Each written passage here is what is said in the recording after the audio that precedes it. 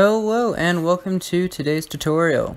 Today's tutorial will be covering how to modify some files in your reassembly to unlock new things, new features, and just have more fun with the game. So the first thing you want to do is open up reassembly and play it a little bit. Make sure all the files get loaded in.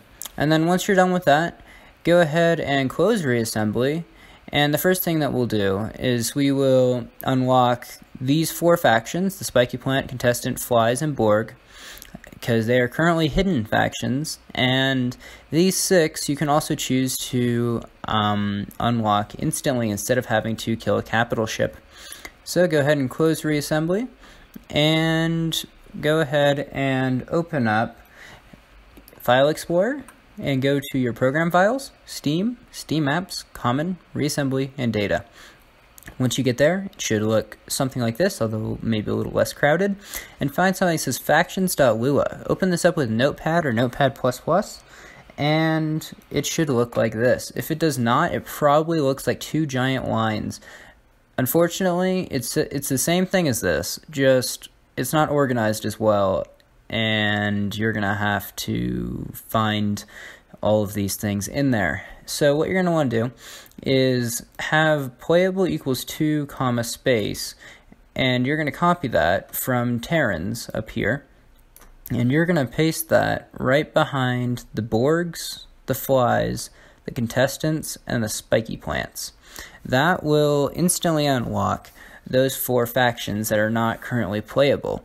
And then if you have any of them that are still locked, like the reds for instance, that you want to unlock, go ahead and change playable equals 1 to playable equals 2. And this will instantly unlock the faction as well. So I'm going to leave it at 1 because I liked to actually unlock it. So now go ahead and save your file, your factions.lua. And you may want to save an original as well in case something gets screwed up. So then go ahead and close this out and go ahead and open up another file explorer and this time go to this PC, local disk, users, your user, saved games, reassembly, data, and in here it should look something like this.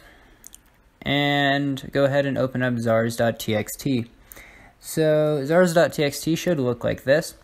And how this works is uh, these are all basically arguments, and these arguments are commented out if there's a space and a um, what do you call it? A uh, pound symbol.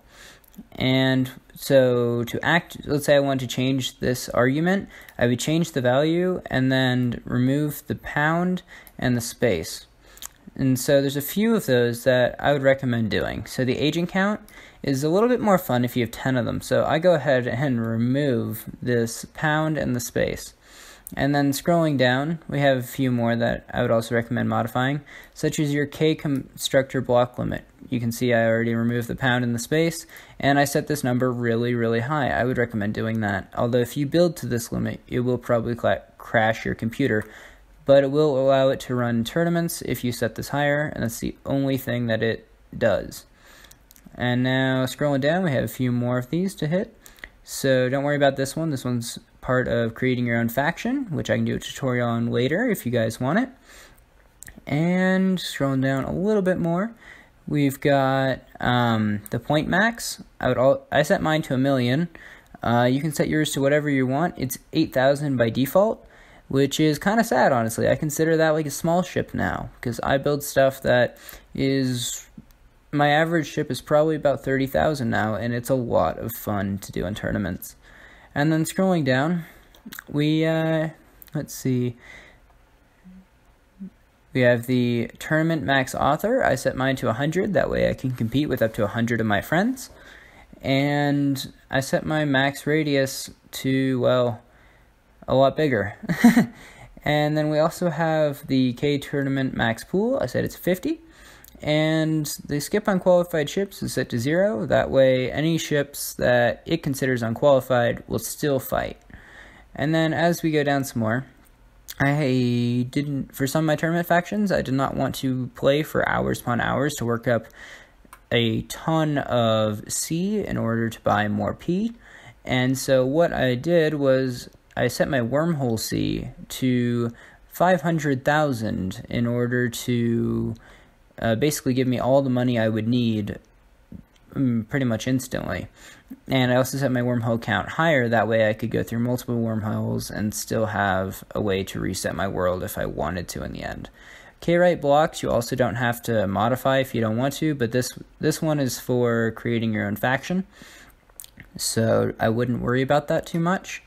But the other ones I would definitely play around with and find a, you know, happy balance for what you want. Well, that concludes today's tutorial. If you want to see a future tutorial on how to get every part in the game into one of your builds, then please say so in the comments below. And remember to like and subscribe to get back to basics.